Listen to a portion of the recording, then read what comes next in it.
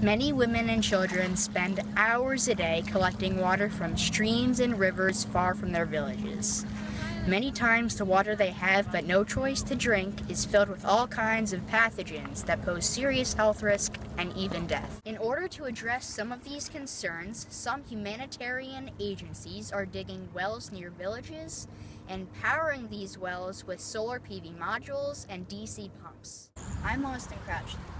I designed and built a water-powered tracking mechanism that can rotate a solar panel from east to west. It makes sense that a solar panel that tracks the sun will produce more energy than a fixed solar panel due to the increased angles of solar insolation.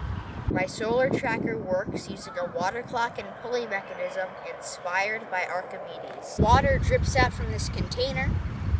It moves the balance arm, pulling this paracord and rotating the. Each of the solar panels is connected to a DC mini pump with wire, as you can see here.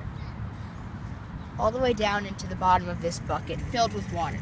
And as the solar panels are producing electricity, the water is being pumped from one bucket through a poly tubing into another bucket. In my location, according to the National Renewable Energy Lab of the United States, a single axis azimuth solar tracker will produce an annual increase of 22% compared to a solar module mounted in a fixed south position.